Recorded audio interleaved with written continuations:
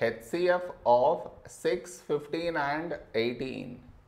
To find the HCF, for that we should do the prime factorization of each number separately. What I mean is 6, 15, 18. This is your step 1. Next, here we have 6. 6 is 2, 3, 6.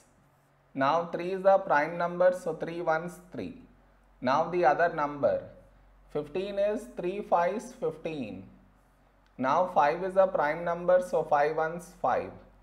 The other number 18. 18 is 2 9s 18. 9 is 3 3s 9. Now 3 is a prime number, so 3 ones 3.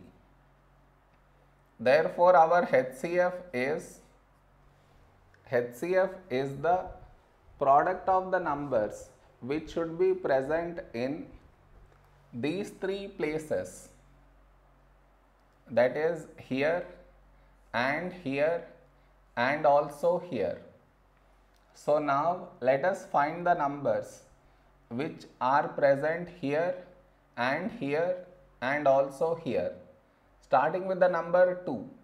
Do we have 2 here? No. So no need for us to check in the other place. Next number 3. Do we have 3 here? Yes. Go to the next place. Do we have 3 here? Yes. So cut 3 right here. No more numbers have been left out. So we got only one number 3 present in all the three places. So 3 itself is our HCF.